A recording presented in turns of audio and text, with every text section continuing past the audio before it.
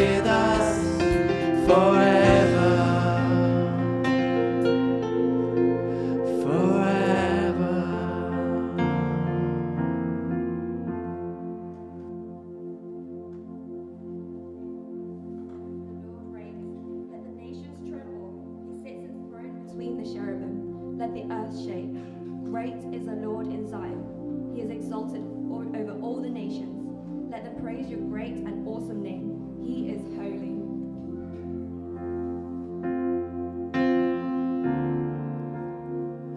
At your name, the mountains shake and cry.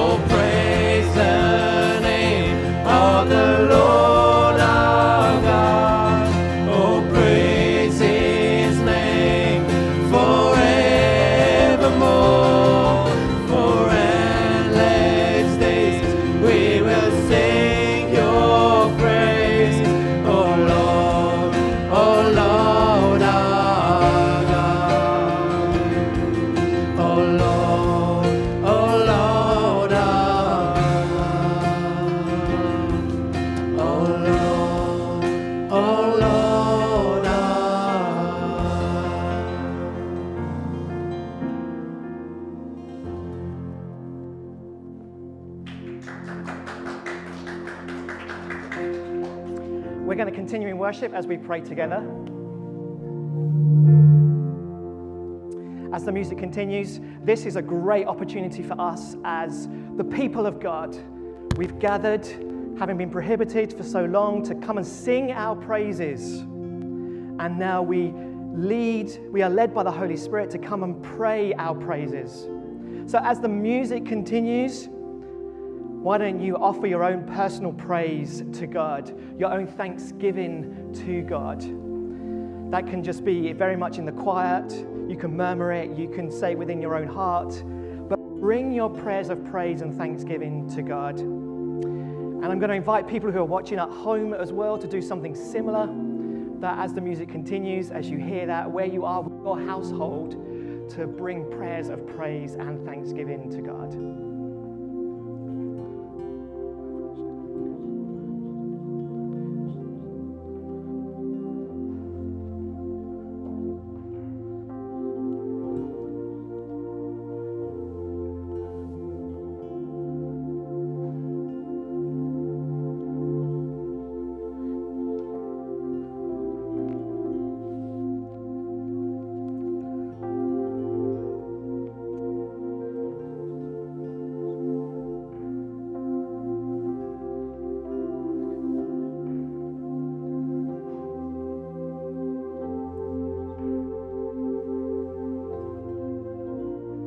Father, Son, and Holy Spirit, it is to you alone that belongs eternal praise. We come and bring our heartfelt praise in the name of Jesus Christ. For you have been faithful and kind to us, sustaining us by your grace. Through every season, you have been close to us. There is no other name through which we can come to you other than the name of Jesus Christ. And so we bring all our prayers of praise, our songs, our celebration in His name. It is for His glory that we come and bring our praise and our worship. And so we join with your church throughout the world today. And we join with the psalmist to sing our praises and to shout our thanks to the one who has saved us, the one who continually rescues us. Salvation belongs to you alone, Lord God. We have been saved through a mighty work of your hand, an activity of love. You have set us free. You have forgiven us our sin. You have forgiven us completely. You have forgiven us perfectly through the death of your Son, Jesus Christ. And so, confident of our salvation, confident of the salvation that has been secured for us in Jesus Christ through his death on the cross, we can be certain that the hope that we have for the future is going to be a good one. For fear is driven out, anxiety is replaced by your peace, and all discomfort is overcome as we trust in your unfailing love for us in Jesus Christ. So continue, Father, to be merciful to each one of us. Pour your Holy Spirit upon all of us, we pray, as we wait upon you, Lord God, and as we pray, Come, Holy Spirit. Let us all learn to be merciful to others as you are to us. Forgive us when our attitudes and our actions towards others has been less than loving, when our selfishness and our pride has driven us to look down on others and dismiss them. Lord, fill us with your spirit that we may know the love of God being poured out into our hearts so that we may love others. The world around us needs to know the love of God. And so, for the sake of Christ's glory, Lord, may we learn to love others as you have loved us. So, Spirit of God, pour yourselves upon all of us. Lead us as we worship you this day.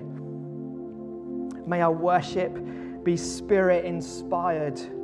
May it be pleasing to you, Lord God. As we come and pray once again, Holy Spirit, come and fill us afresh. Empower us as we pray in the name of Jesus Christ. Amen.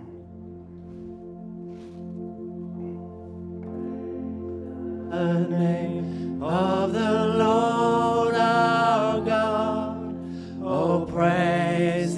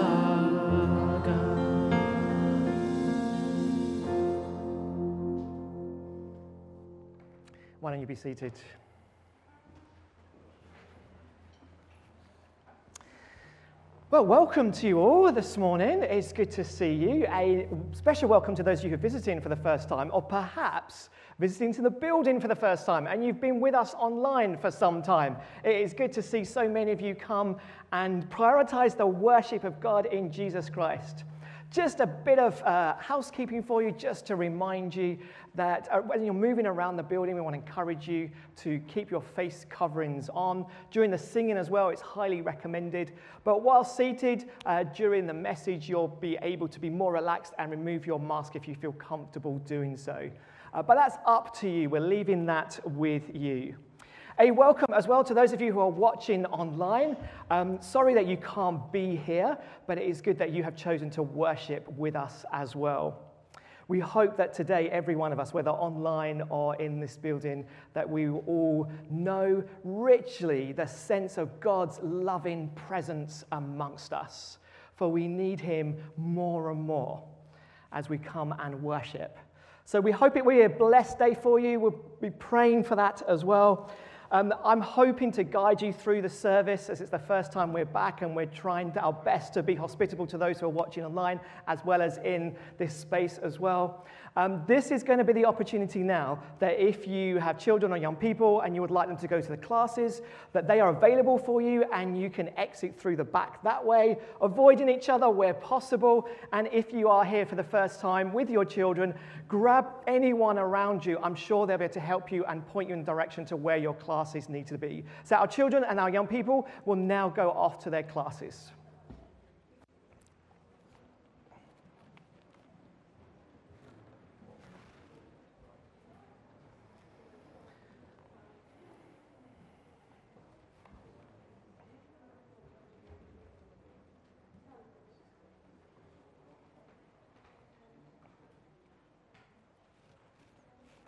Now, don't forget, following this service, uh, we do have an opportunity to connect with one another over refreshments.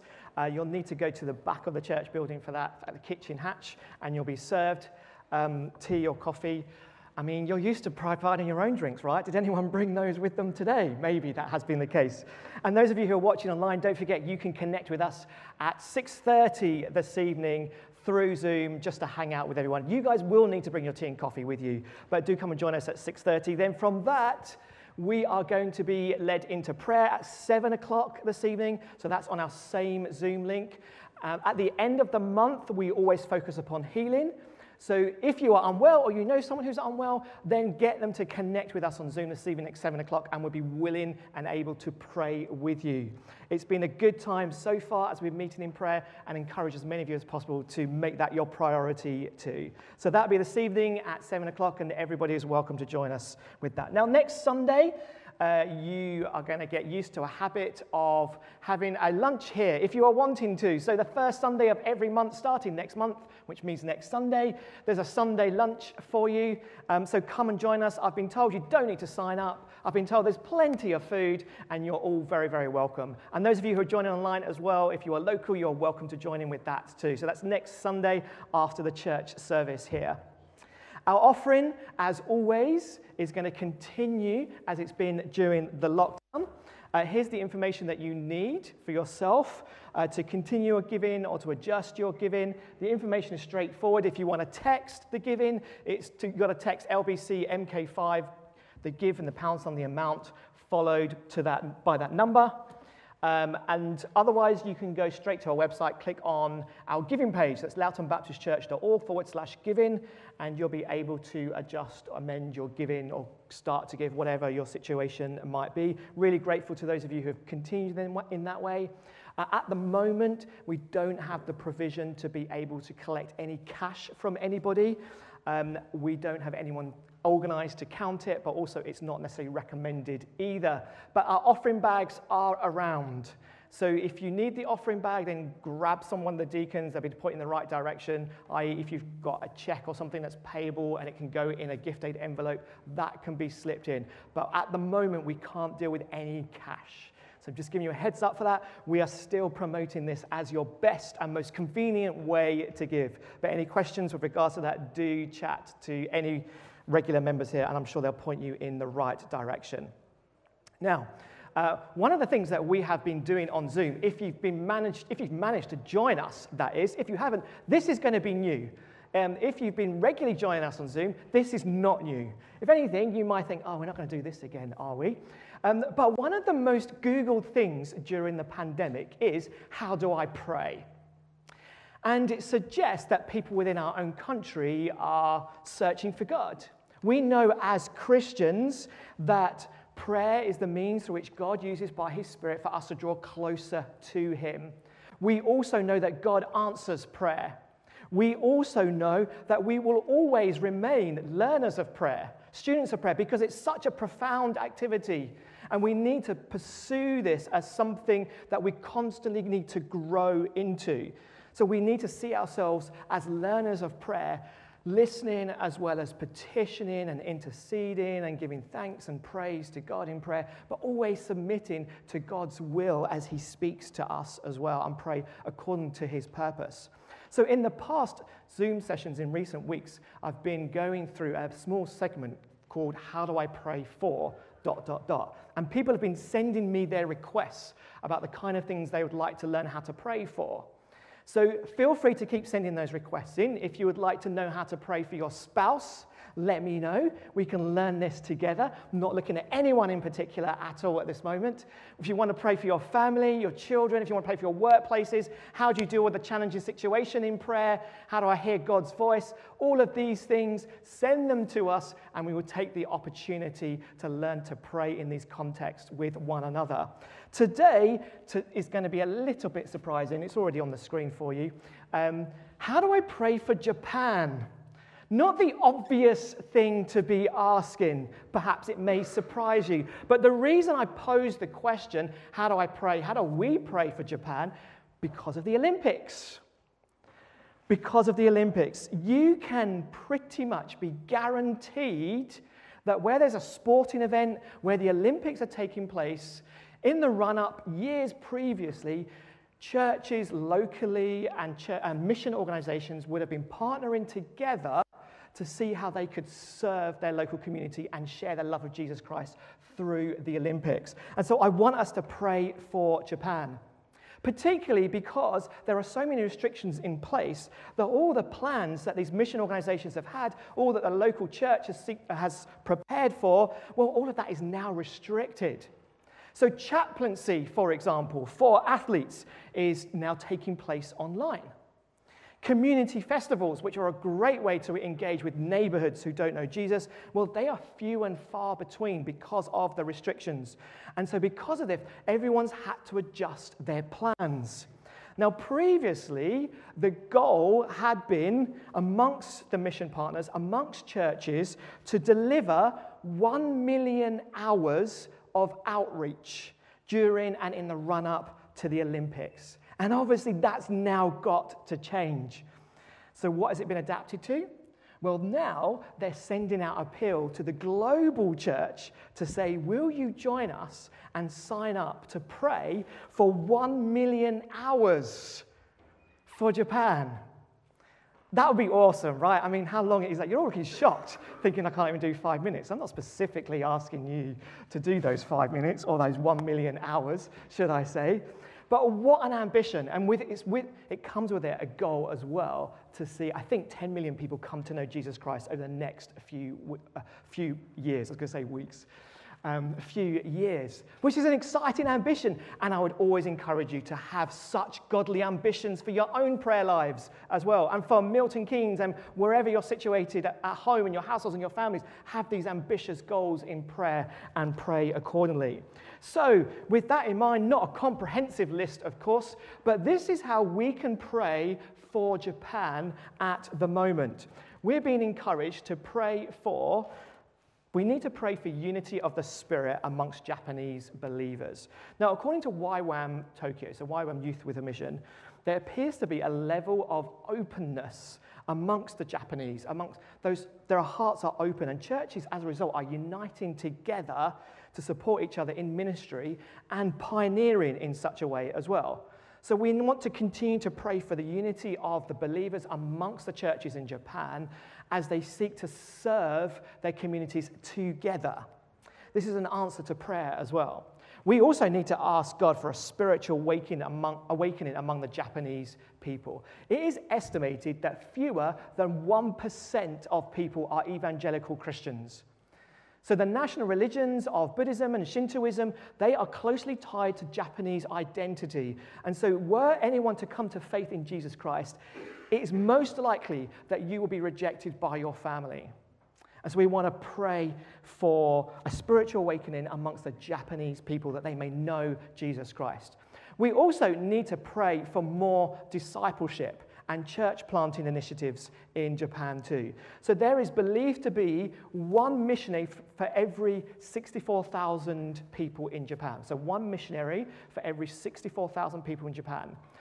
Don't know if you knew this, but the Japanese are the second largest unreached people group in the world which is why we need to pray for this nation as well. So, we need to pray with others for a spiritual breakthrough in Japan that leads to vibrant churches where individuals, families, communities encounter the love of God and transformed by it through Jesus Christ.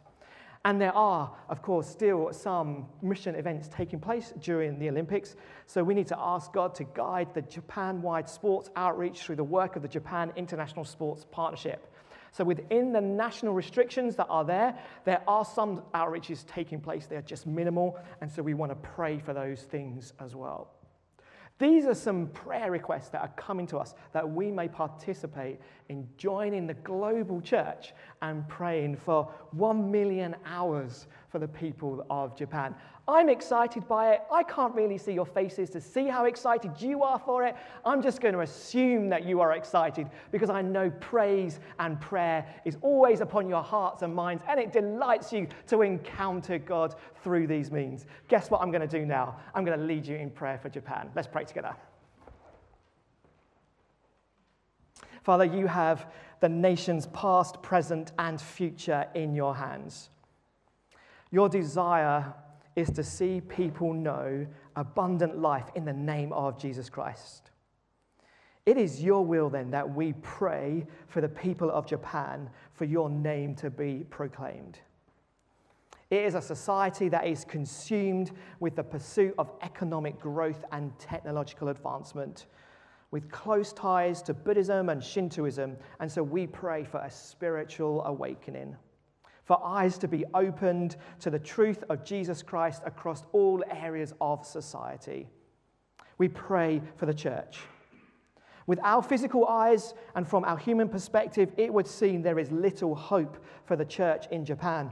Half of the pastors are over the age of 70, and most congregations have little to no children's and youth work. But with eyes of faith, we look to you, Lord God, and we pray for revival. May your church have an increased desire to fulfill the Great Commission. And may churches become bold in their proclamation of Jesus Christ. During the Olympics, we pray for the increased opportunity for the church with mission partners to share with boldness the love of God in Jesus Christ. And so we pray for sports chaplaincy. We pray for the mission events that are planned for the athletes themselves during the Olympics, and we ask for your will and your purpose to unfold. Let godly wisdom lead the chaplains. May the mission events be more effective than all expect them to be in this climate, and may the athletes be blessed and strengthened in spite of the restrictions. When disappointment creeps in, we pray for your encouragement. And when winning occurs, we pray for celebrations that lead people to marvel at our Creator God who sustains us all by His own word. We thank you that each one of us has been created in your image. We have all known your salvation in Jesus Christ. The love that we know in Him has enriched us beyond what we imagine. And so we are so thankful for all that you bless us with, Lord God out of the overflow of what we've already received, we give our gifts and our tithes and our offerings to you, Lord God, asking that through all this, others' lives may be blessed. Other people may be enriched by your salvation in Jesus Christ too. And as we turn to your word shortly, Lord, hear our prayers for you to speak to us, Lord God. And in turn, may we hear you call to us to follow you with all that we are for the glory of Jesus Christ, in whose name we bring all our prayers. Amen. Why don't you grab your Bibles because we're going to read today from 1 Thessalonians chapter 5, the words of which will come on the screen that you're watching from at home, or if you're in this space here on the screen in front of you. As you grab your Bibles, I'm just going to grab some water real quick.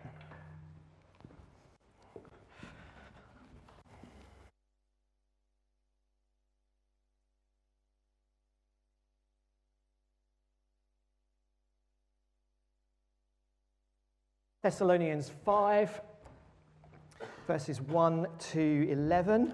It's a part of our One Another series that we're working our way through. What it really means to be Christian community, because so often we make this up for ourselves as we go along. 1 Thessalonians 5, verses 1 to 11. Now, brothers and sisters, about times and dates, we do not need to write to you, for you know very well that the day of the Lord will come like a thief in the night. While people are saying peace and safety, destruction will come on them suddenly as labor pains on a pregnant woman, and they will not escape. But you, brothers and sisters, are not in darkness, so that this day should surprise you like a thief. You are all children of the light and children of the day. We do not belong to the night or to the darkness.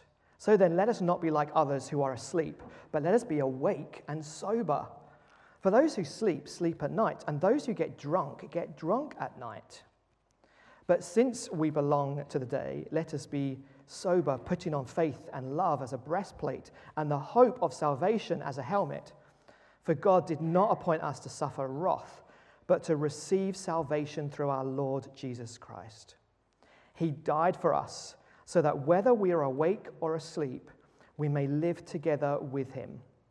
Therefore, encourage one another and build each other up, just as in fact you are doing. I know you will be aware of this, but Christians, as much as anyone else, are prone to fear and anxiety about the future. That's often fueled by the present circumstances that we experience. Our circumstances may be such that it causes us to fear about the future. Now, understandably, we can find ourselves, even in this present time, being overly anxious and overly concerned with the spread of coronavirus around the world. We can also become anxious about the future when we look at the lack of integrity that we see exhibited in our leaders. We can easily be discouraged by the pressure that we face in our workplaces or the worldliness that we experience around us, the potential news of ill health. All of this creates anxiety for us about the future and it can cause us to fear. We can also become concerned about our loved ones. We can be concerned about financial insecurity, relationship breakdowns. We, like everyone else, know that the world can be unfriendly and it can be challenging. And because we are so used to comfort and ease in the luxury that living in this, living in this part of the world brings to us, we are potentially the least prepared generation for discomfort. Our wealth, our prosperity deadens our senses and it puts us to sleep. And this is seen in the church as well as outside of it too. Every one of us needs to be encouraged and built up. That's the nice part. But also, every one of us needs to encourage and build up others. That's the mutual responsibility that we have. And as Christians, as the church, we are to be the most encouraging group of people on the planet. There's an ambition for us all to aim for. Now, through the weeks past and through the weeks ahead, we've been reminded once again of what it means to be a Christian community, particularly as we seek to recover and rebuild our friendships with each other. It's an opportunity, once again, to have any misplaced expectations that we may have on one another. They need to be corrected. And for us to be reminded of the mutual responsibility that all of us have to be encouraging towards one another. Now, if we settle for something less than what God has planned and purposed for us, if we create a community that is influenced more by the hope of our own personal needs being met, well, that will lead us to miss out on the blessing and privilege of being who we have been created to be in Jesus Christ together. Therefore, in verse 11, which I believe will come on the screen. There you go. Therefore, encourage one another and build each other up, just as in fact you are doing in verse 11 of that chapter that we just read. Now, to encourage one another means to infuse one another with courage to give each other confidence. And so we act and we speak towards one another that results in the other person living courageously and with confidence in this world as a follower of Jesus Christ. So we are to give each other the, cor- the courage, the confidence to follow Christ as we should in all circumstances.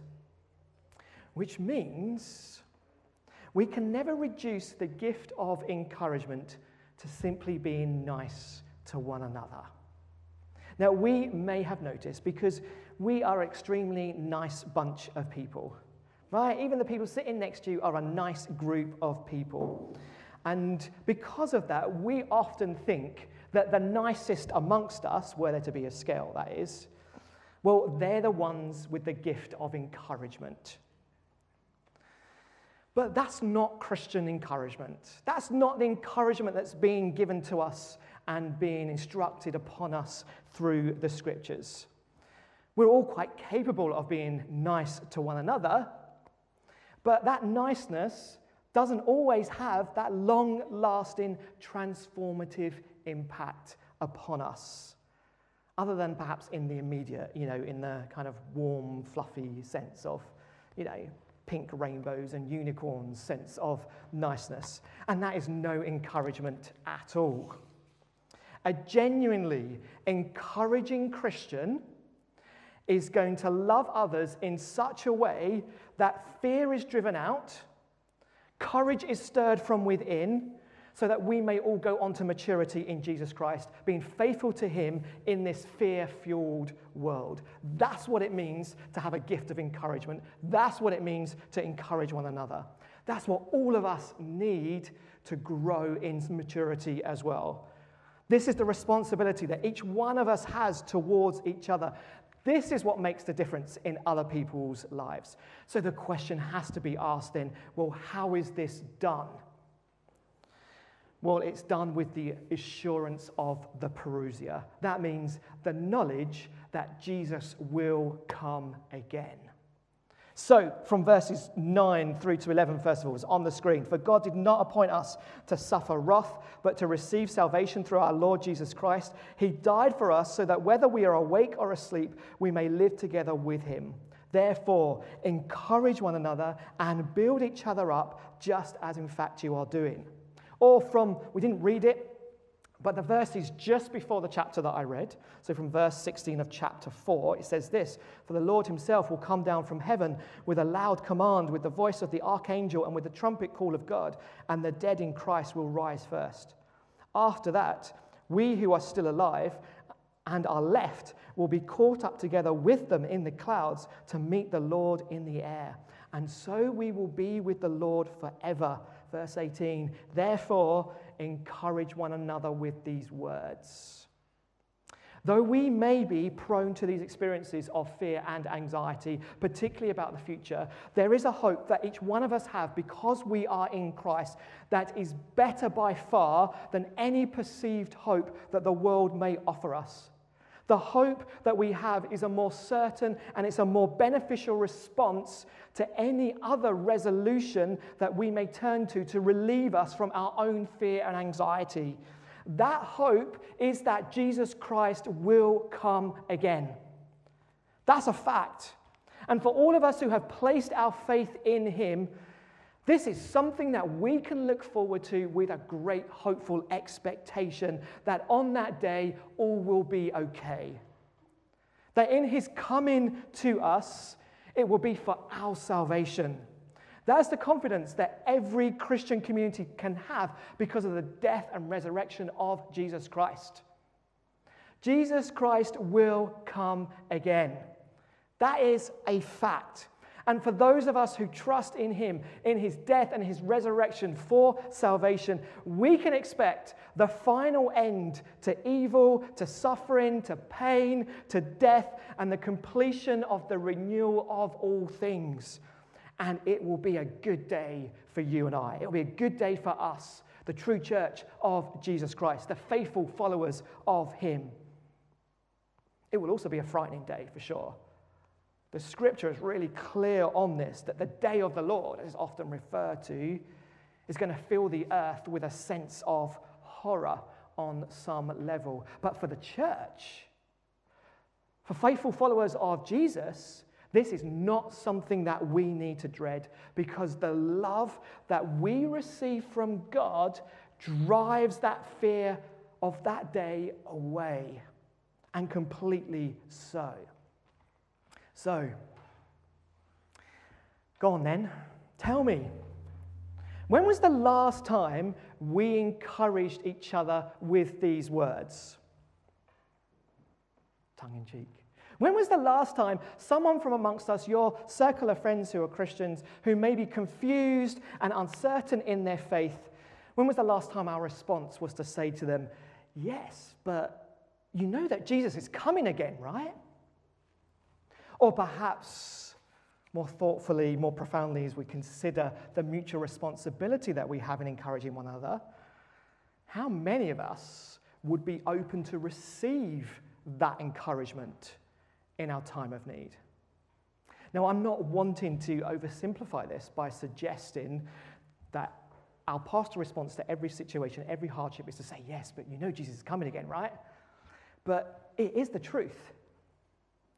And it has the potential within it to give us courage to live faithfully for Jesus in every circumstance and drive fear away.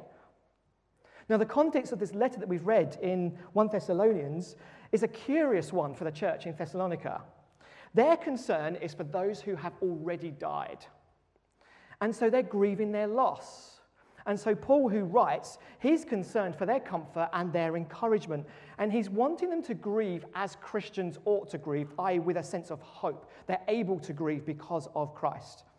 So, not with hopelessness, but with hope in the death and resurrection of Jesus Christ. So, what does he do? He writes to them and assures them of Christ's return and their being with Christ, whether they are awake or whether they are asleep, which are metaphors for being alive or being dead. Now, that may not be our context. But the truth that Jesus will come again does instruct how we are to give and how we are to receive encouragement and what it actually looks like in a Christian community. So we are to encourage one another. Here's the first thing that we get from this to focus on the important in the kingdom of God.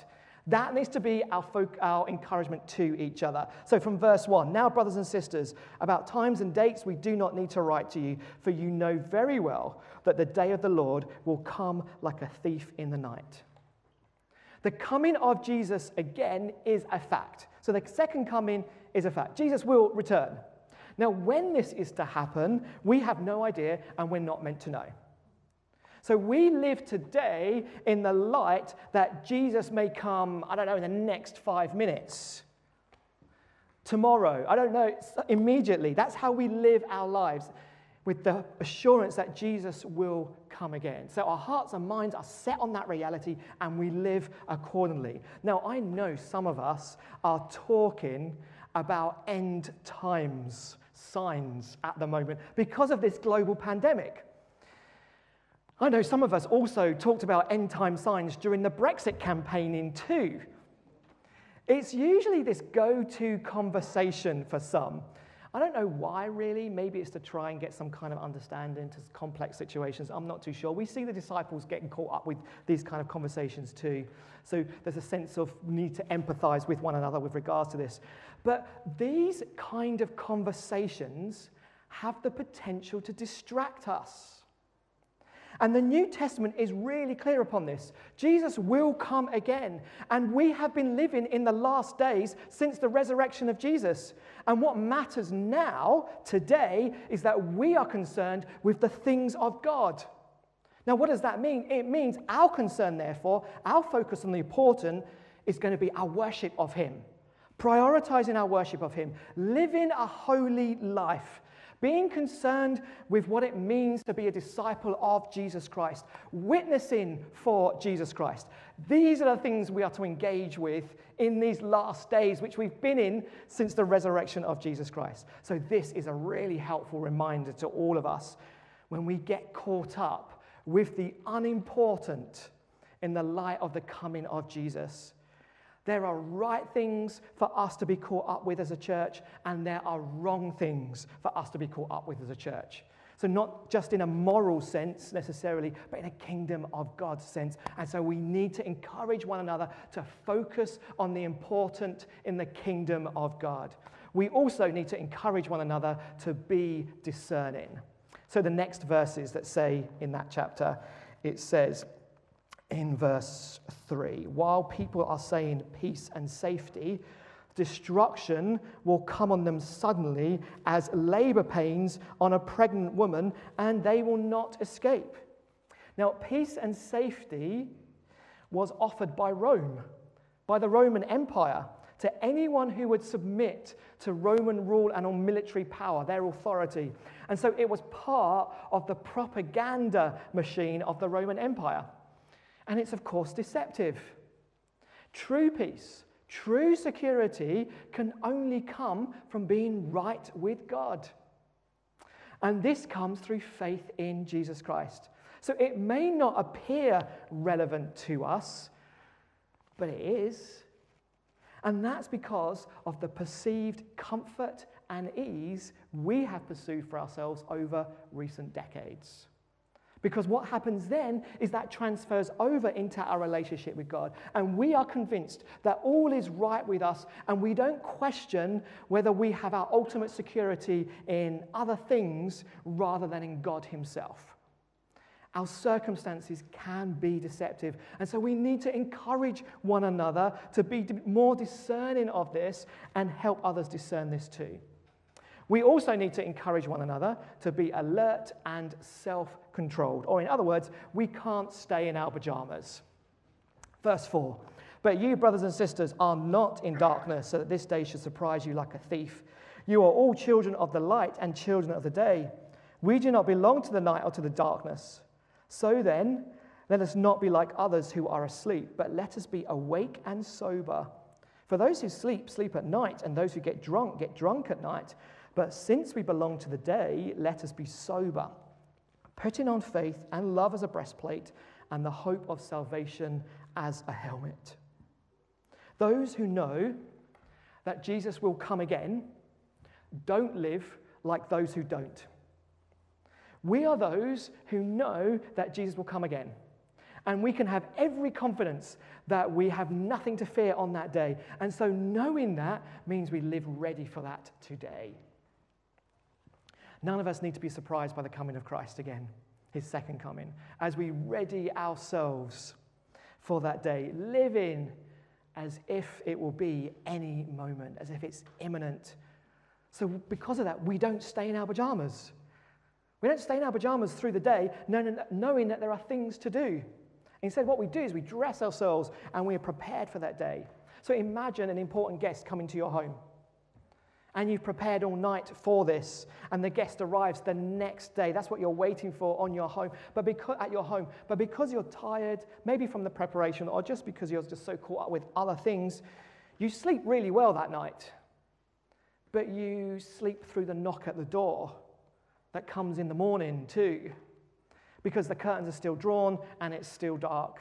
Someone in the household, well, they're awake and they're ready and they're going to open the door, but we are not it raises questions for us. How are we living our Christian lives? Are we awake or are we asleep? Are we ready for Christ's return? When he returns, what exactly is he going to find us doing? Getting caught up with the unimportant? Or living alert and self disciplined and prepared to receive him. So in verse 9, for God did not appoint us to suffer wrath, but to receive salvation through our Lord Jesus Christ. He died for us so that whether we are awake or asleep, we may live together with him. Therefore, encourage one another and build each other up, just as in fact you are doing. Jesus Christ will return. And this does not need to be a day of dread for us, but a day for us to look forward to. To dread it with a fearful expectation of doom and condemnation is to know that we are not prepared for it. To anticipate it with confidence today means that we're living for Him today. And so we need to encourage one another with these words Jesus Christ is coming again. Jesus Christ is coming again. And if you weren't wearing your masks, I would get you to tell the person next to you that Jesus Christ is coming again. To bring the Pentecostal back to the Baptist community. That would be awesome, wouldn't it? That we turn to one another and we say, Amen, Jesus Christ is coming again. And he comes to bring salvation for each, to each of those who are his, those who belong to him, those who have faith in Jesus Christ. He has chosen us to live together with him through the death through his death on the cross. And so we need to infuse one another with these words in the light of this, infuse courage in one another in the light of this. Jesus Christ is coming again, and we need to allow ourselves for that truth to be received by us as one that gives us hope, that stirs confidence from within us as a work of the Holy Spirit within us because we are people who are awake. I think. I got a laughter. For those of you who are watching at home, I just got some laughter. So they are awake. We have a certain future. There is no need to fear the future. Very simply, because Jesus Christ is coming again. That's the assurance that all of us can have, the confidence that can be instilled within us by work of God's Spirit. Fear can be driven away, anxiety can be replaced by peace. We don't have to get caught up with the unimportant. In fact, I strongly advise against it. Don't get caught up with the unimportant. Get caught up with the priorities of God's kingdom and be ready for Him. Because Jesus Christ is coming again. And so, because of that, with that hope in mind, we know what we need to pray as well. Because we know it will be a good day for us all as faithful followers of Jesus Christ. Guess what we need to be praying? Come soon, Lord Jesus, come soon. That's the prayer. That's the prayer we all need to be praying at this time. Come, Lord Jesus, come soon. We're longing for you. We look to you. We are waiting for your salvation to come to us. And we have every confidence that on that day, that when you see, when we see you face to face, when you return, it will be a good day for each one of us. So we pray, come soon, Lord Jesus, come soon. We're going to pray that now. Let's pray together.